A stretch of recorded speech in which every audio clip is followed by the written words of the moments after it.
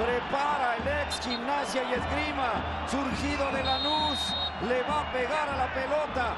Viene Nico. ¡Gol! El fútbol en tus manos. Otros ojos en el gol. Roberto.